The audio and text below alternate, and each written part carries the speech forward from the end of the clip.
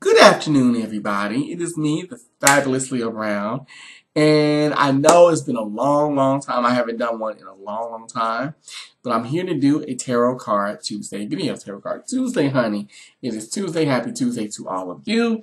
And the last time we left off, I think we were on the Ten of Wands, or Ten of Staffs, I'm sorry, Ten of Staffs, and the Ace of Arrows.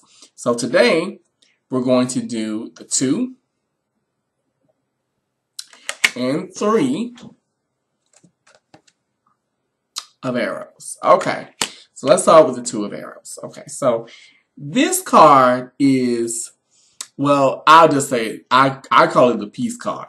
Don't let me throw the peace card on you. If y'all know, if that's a beauty shop reference, if you know that, shout out to beauty shop. Anyway, so this card is a card of peace. This card is a card of peace. It's a card of truce. It's a card of, of an impasse of a situation. So if you get this card in the upright position as I'm holding it, uh, it basically means that there's a temporary truce or an impasse in the situation. Uh, you there's understanding of a difficult situation. So say you have a love relationship issue or just a relationship issue and you're wondering why, okay, why did that friendship or why did this certain relationship, why did it go wrong? You know, why did we split? But as time goes on, you start to understand, okay, I, I understand why, even though the situation was difficult, I understand why we ended the way we ended, what happened, and I understand my part of the situation, like where I fit in.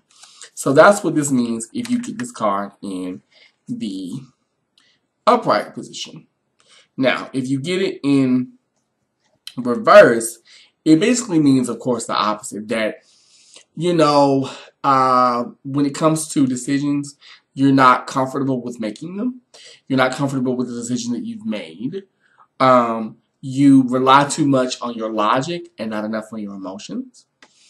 Uh, let's see. It also could mean that your relationships need to change. You have an uncomfortable relationship, whether it be a love relationship, whether it be a friendship, uh, that needs to really change and needs to grow. Now, let's look at it from a different perspective. Let's say you come you come to me or you go to another reader. Uh, if you want to go to me, you can go to my website, which is psychicleo.com. That's psychicleo, L-E-O dot com.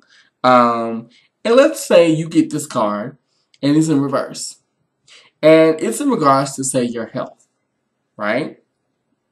So it basically it basically could mean that, you know, in regards to your health, you really need to change. You really need to make some changes with your, your lifestyle, with not only with what you eat, but the way you look at food or the way um, you exercise or the way you just look at the idea of getting healthy. You know, now when it comes to, uh, say, your mental health, it could mean that, you know, mentally you're not comfortable with the thoughts that are in your head. You're not comfortable with changing your attitude. Like say you have a really pessimistic or negative attitude and you don't want to change it. You don't want to go to therapy. You don't want to do the work, as Iyanla would say. And you're just not happy. And that's what this card will basically represent. It will represent that, that really you are the prisoner of your own thoughts. Because you have to remember we're dealing with arrows. And arrows deal with intellect. It deals with the mind. It deals with the central nervous system. It deals with, you know, the things that we say, communication, things of that nature. So, you know, those are basically some some some meanings that, that this card, the two of arrows, could mean either in the upright or the reverse position. Okay. Now, we're going to move on into the three. Three of arrows. Now, for me, I call this card the heartbreak card. card or or not necessarily heartbreak, but like you haven't healed your old loved ones. Because even if you look at the imagery, that's kind of what it reminds you of, like a person who really hasn't healed, they're still dwelling on the past.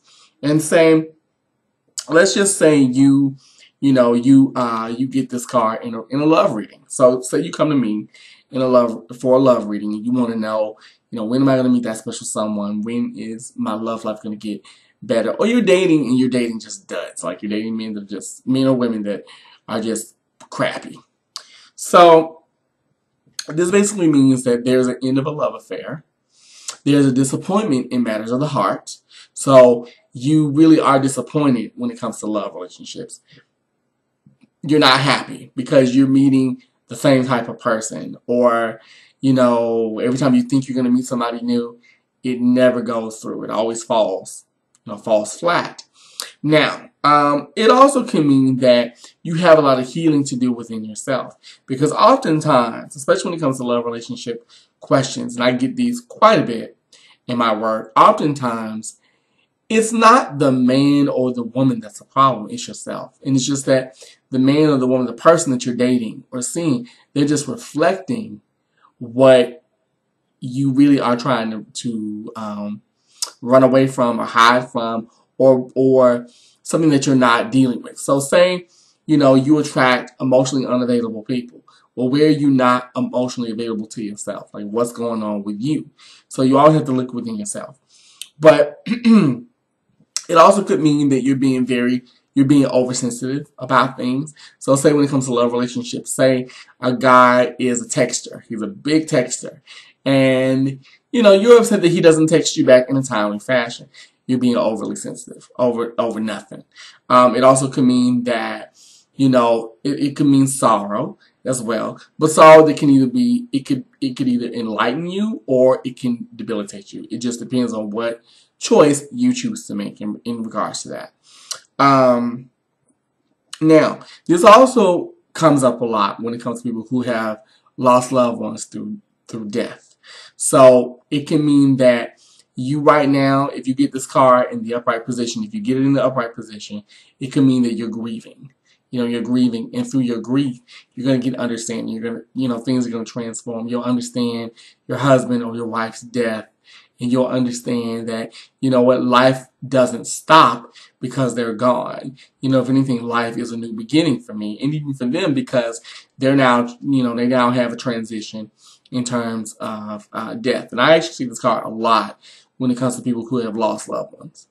Now, it could mean, now, if you get this card, those are just some of the, the upright um. If you get this card in reverse, it can mean, of course, the exact opposite.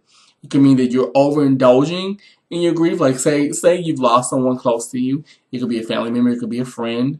And you're dwelling on it. You, like every five minutes, you can't help but break down and cry because you are still holding on to the past. And oftentimes, you're indulging in it because it's just there, just for drama's sake. So it also could mean that, say, you have a friend, you know, male or female, and this friend is always in some bullshit. They're always in drama. And you're like, really, girl? Like, what's really going down?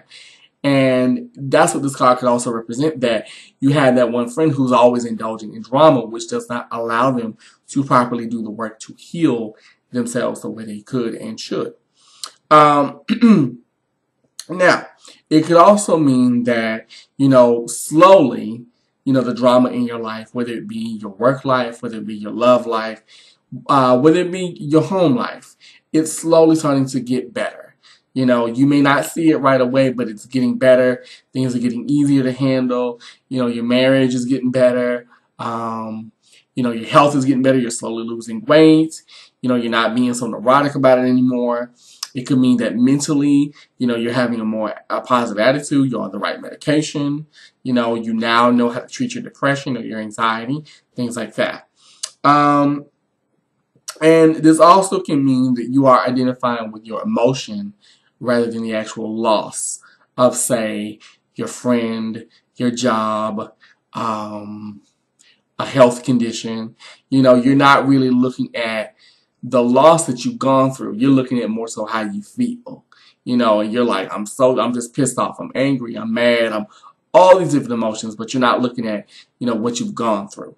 So these are just some of the, some of the basic meanings of the two and three of arrows here. And, you know, I am not an expert. I, I really am not.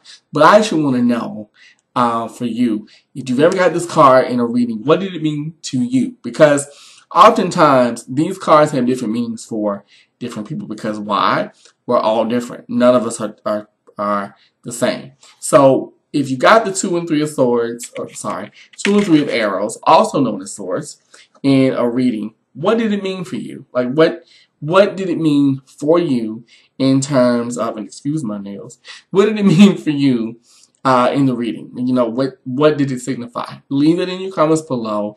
Be sure to like the video, share the video. Uh, if you have questions, if you want to know more about this, you want more information, leave your comments below. I will definitely try to read every comment. I try to answer every question. Like I said, I am not an expert. I'm still a student like everybody else on this beautiful thing we call planet, planet Earth. Um, but I will be sure to answer your questions if you, uh, if, you know, if you have questions. If you would like to get a reading or you want life coaching or um, motivational speaking, contact me at psychicleo.com. That's psychic Leo. That's P S Y C H I C Leo L E O dot com. Uh, and I'll be sure to uh, contact, you know, connect with you and give you your reading, your life coaching, or your your speaking, whatever it is that you would like. So until next time, it is me, the fabulous Leo Brown, and I will will be back next week with the four and five of arrows, also known as swords, depending on what deck you may use. But I thank you guys so much for watching the video, uh, for um, being a part of my tribe, my channel, being my cover, you know, so for subscribing. Please keep subscribing. Please keep leaving your comments because, like I said, I do read them all. And as you can see, my video, my videos are very much my channel. Honestly, is very much a wide variety of things. So, but to me, that's the way life should be. So until next time, it has been me, the Fabulous Leo Brown, and I will see you guys next week on this edition, on another edition of Tarot Card Tuesday. Talk to you soon. Bye bye.